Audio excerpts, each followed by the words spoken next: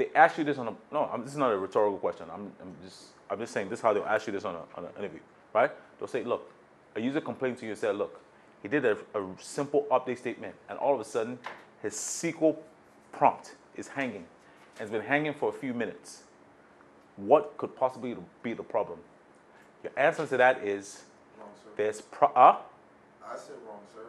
No. That, that they put the wrong, um, they put the wrong word after the at. at no, no, no, no, no, no. This is update, not even connect. I think there's a lot. Yes. Absolutely.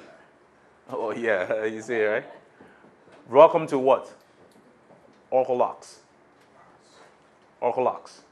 Do you understand what I'm saying? All right, now watch this. Everybody, if you have more than one tab open, close the other ones.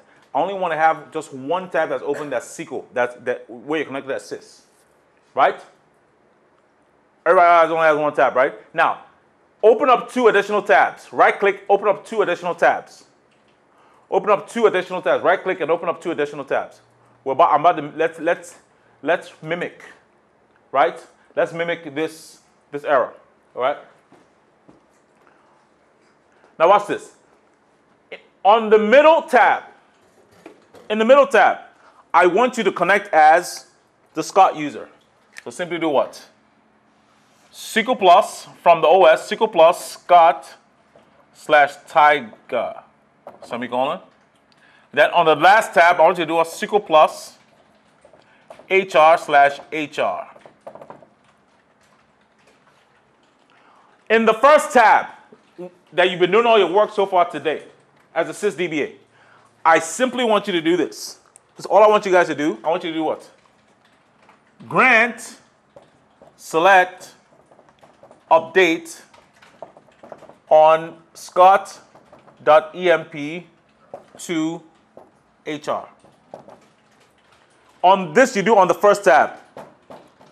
Second tab, just connect to Scott. Third tab, connect as HR. It shouldn't take you guys more than 15 seconds if you're good. Who's done? We need to connect after importing that? uh, You're already. to Grant? You're already connected. So are you connected to Scott here? Yes. It's HR here. Right? Scott HR, right? Scott HR, right? Oh, not yours again. Oh. No, it's fine. It's fine. All right. You are? No, you're not gonna. Uh, Scott, always Scott. I don't know how. Uh, Tiger, account, unlock. Okay. I did it.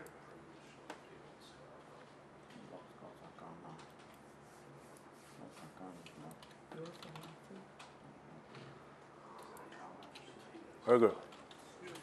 But you didn't do enterprise manager, did you? Okay. Stay. Learn it again. Right? Believe me, just stay. Stay. Lazy girl. Right? All right. Has everybody done that? Sys? Has everybody done that? Sys, HR, and Scott. You should only have three tabs open. How are we looking here? Uh huh. Semicolon. No, to HR. Oh yeah, two HR. There you go. Very good. Right? All right. So now watch this. On your Scott.emp table, in the one that you're connected as Scott, right? The middle one. I want you to simply do this. I'm going to teach you guys how to, if, how to kill a user, right? How to kill a user. I want you to do this. Update Scott on the on the middle tab. Not don't do this as assist. Update Scott.emp. Set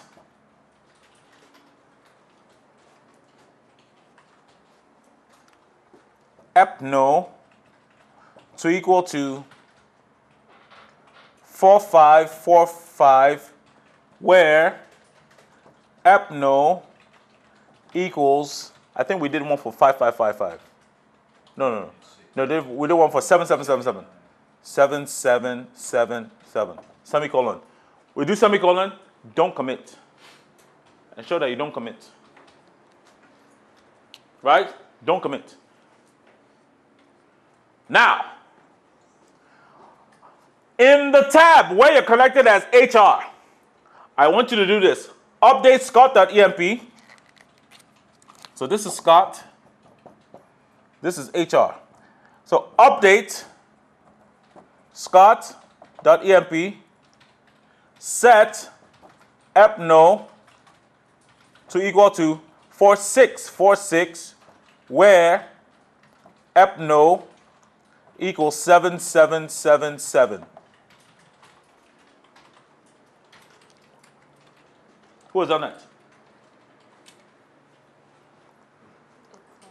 Huh.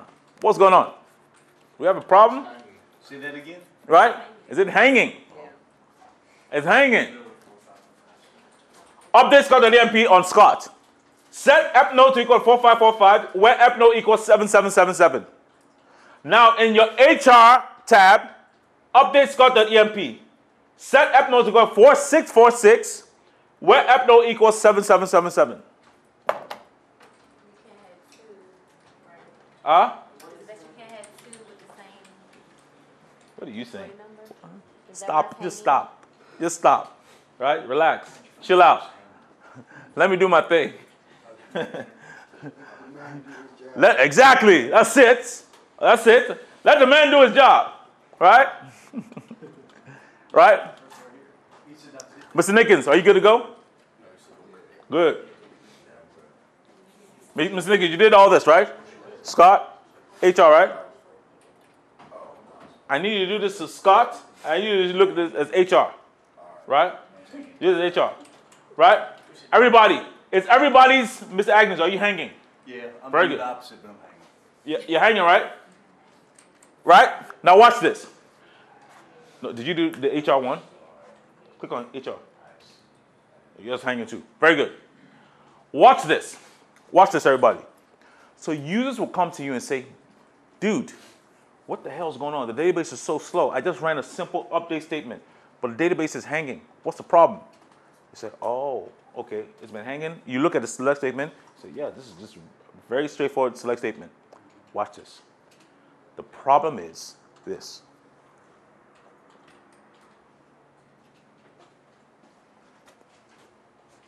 Everybody, go to your sys, go to your sys tab and do select star from scott.emp.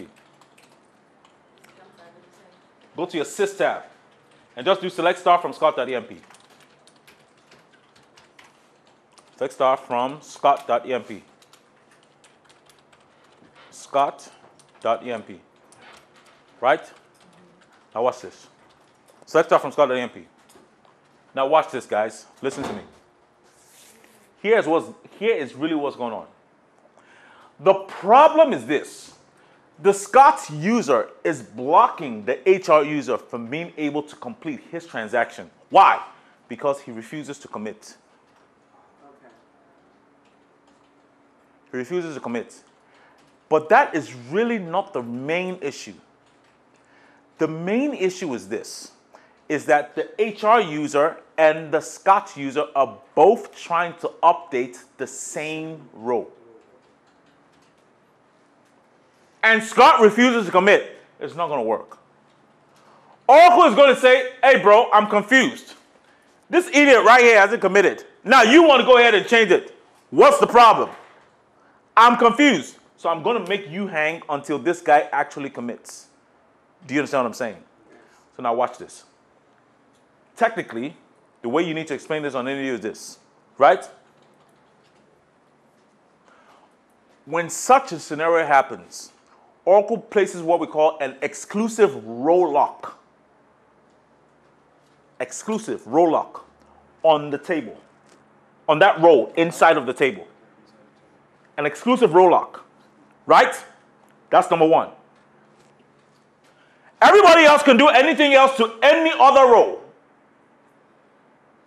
Right? Any other row. But they cannot do what? Obviously, they can't do delete from Scott the Scott.emp. No, you can't do that. Why? Because this row is still in transition. Right? That's number one. But it can still do update any other row, insert into the table, and all that, right? They can still do all that. They can do select star, all that. The second thing that Oracle does is this Oracle places what we call a table lock on the entire table. A table. So two things happen. When such a scenario happens, Oracle places what? An exclusive row lock. That's number one. And number two, it places a table lock on the entire table. Why?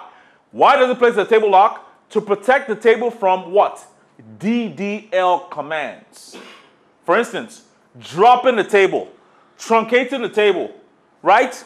Altering the table. No, it's not going to allow you to do that. No. Why? Because that entire table is locked because there's a row inside that table that is still in transition because Scott has not committed. Row lock and table lock. So guess what? Because this guy hasn't committed, now HR, he can't do any work. He literally can't do any work because he's hanging. Do you understand what I'm saying? Now watch this. So now, the first thing that we're going to have to do now is, hmm, when this happens to you, know, right? The first thing that we're going to do is we're going to, I'm going to find out and say, look, let's find out who is blocking this user HR. Who is blocking this user HR from doing this thing? Right? And how we do that? All right, here we go.